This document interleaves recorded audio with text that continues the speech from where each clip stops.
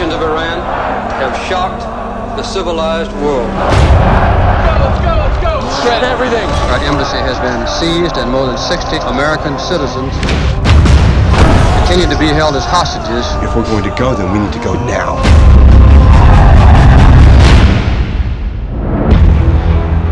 What happened? Six of the hostages went out a back exit. Where are they? The Canadian ambassador's house. You got Revolutionary Guards going door to door. These people die. They die badly. White House? Who wants the six of them out? What we like for this are bicycles. Deliver the six bikes, provide them with maps. Or you could just send in training wheels and meet them at the border with Gatorade. It's gonna take a miracle to get them out. Buddy man, what are we watching? I got an idea. They're a Canadian film crew for a science fiction movie.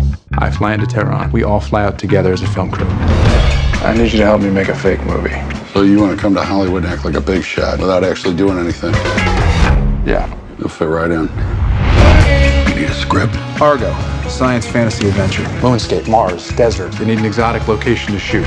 You need a producer. If I'm doing a fake movie, it's gonna be a fake hit.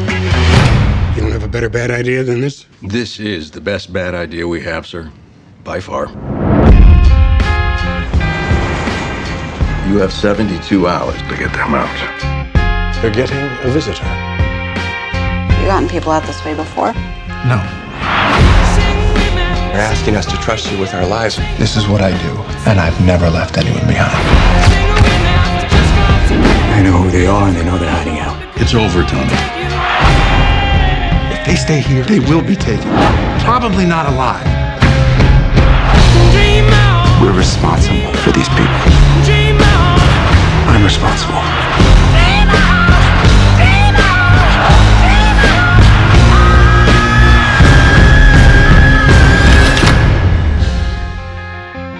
You really believe your little story is gonna make a difference when there's a gun to our heads? I think my little story is the only thing between you and a gun to your head.